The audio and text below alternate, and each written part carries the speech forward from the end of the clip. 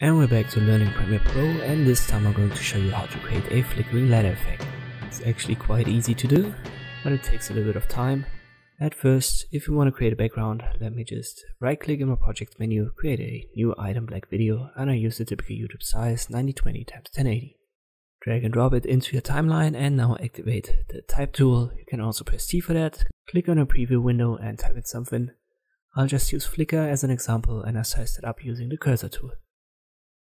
You can adjust this text in effect controls, but I like to use the graphics layout and then go under essential graphics to edit.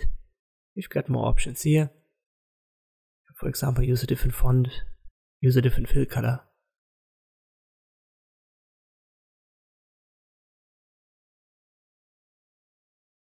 If you're done, just switch back to the editing layout.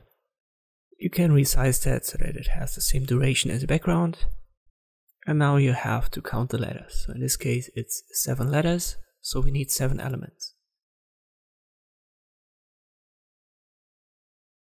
Just hold Alt and then drag copies and stack them on top of one another. You might have to resize this menu as we need seven of them plus the background, so we need eight video channels.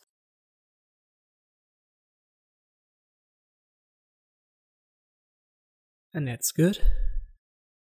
And now the next step is to use a mask so that we have one letter per element in our timeline.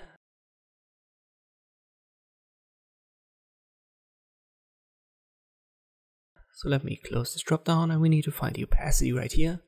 Open the dropdown for opacity if you can't see that. And we want to use the pen tool. It's the easiest in this case. But let me zoom in a little bit to 100% and you can readjust the position right here. I'm on video channel 2, which is my first text layer.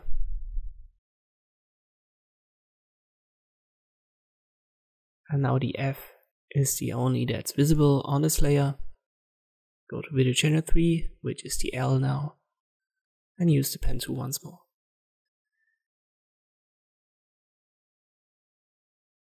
Don't get confused, there's another pen tool down here we don't want to use that, you definitely have to use the pen tool under the opacity function. Otherwise you're not going to create a mask. And now you go through all of these text layer elements in your timeline one by one and create this mask. I'm going to speed this video up a little bit.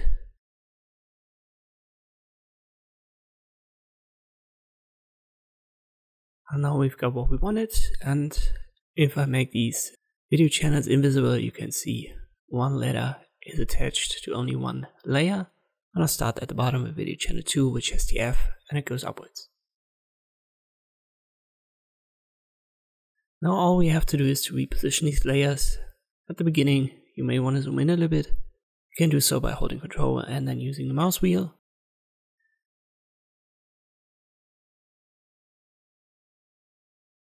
And now let me play it and the text flickers in. You don't want to make these gaps too big. So the longer these gaps are in between these elements, the slower this flicker effect will be. And the smaller you make these gaps, the faster it will be.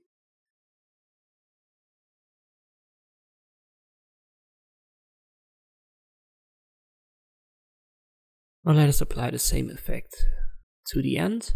We just have to resize our elements.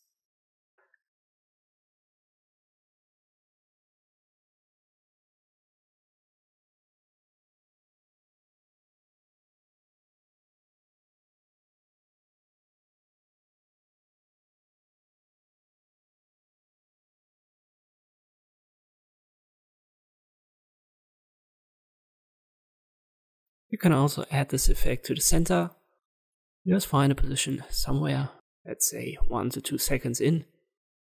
Then press C for the cut tool and create some cuts. Especially in the center, you don't want to make these gaps too big, maybe 1, 2, 3 frames.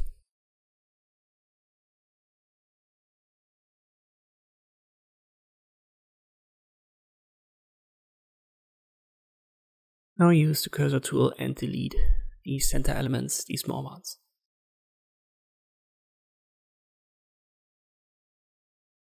And now it flickers a little bit in the center as well.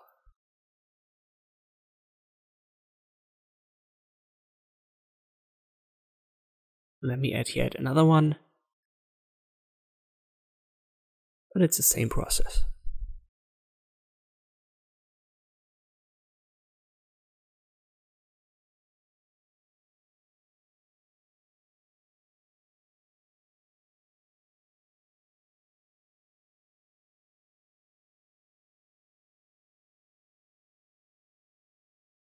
And this is how you can create this flickering letter effect in Premiere Pro. I hope this video was helpful, thanks for watching and I'll see you next time.